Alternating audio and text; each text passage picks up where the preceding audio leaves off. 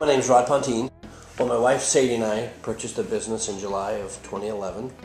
We are located northwest of Hastings. We have a five acre farm out here where we produce all of our candles and all of our other products.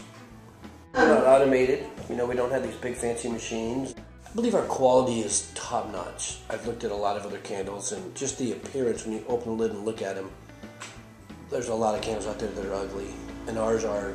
We take a lot of pride in making them very pretty, and the colors are brilliant. Our colors just jump out at you. Is they're they're they're very bold, very bright. Our, our candles burn all the way to the outside of the jar, and they burn all the way to the bottom, and the fragrance continues all the way to the bottom of the jar. So it's not like you burn it for a few hours and it doesn't smell anymore. You buy a good quality product, you give it as a gift, or you have it in your own house. It's going to burn a long time. It's going to smell good.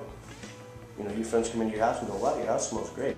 I think people were thinking we only had the candles and then we added the bricks, the room sprays, or the diffusers. We have pallets and pallets and pallets full of jars, and we're in a bigger facility. We're not the little mom and pop in the garage, and we're pouring 25 candles at a time.